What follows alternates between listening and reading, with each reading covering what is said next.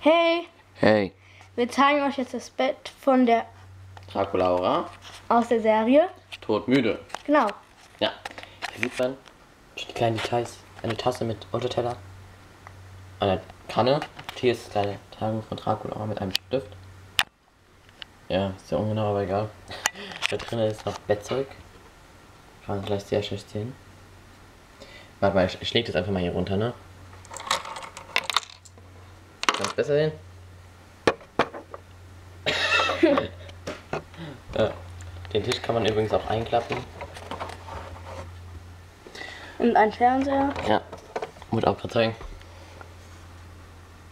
Sonne natürlich. Dann ist hier oben noch eine Lampe.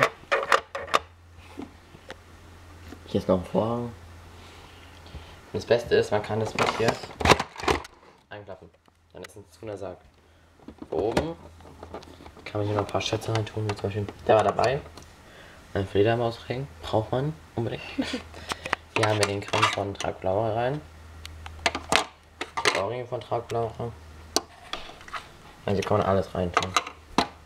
Wenn man zum Beispiel nicht unten haben will. Hier kann man, also eigentlich sehr viel Schmuck, aber wir tun der Zubehör rein.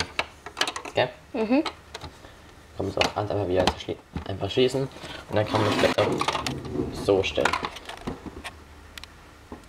Äh, bei der Galeria Kaufhochgut für 25,99.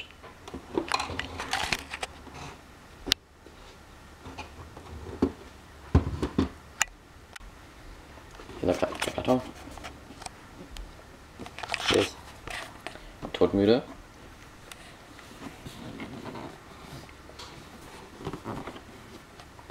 Franks Bett, Frankie, Draculaura, Claudine, Laguna, Cleo, Doyce, Gulia und Holt. Hier noch mit Schmuck.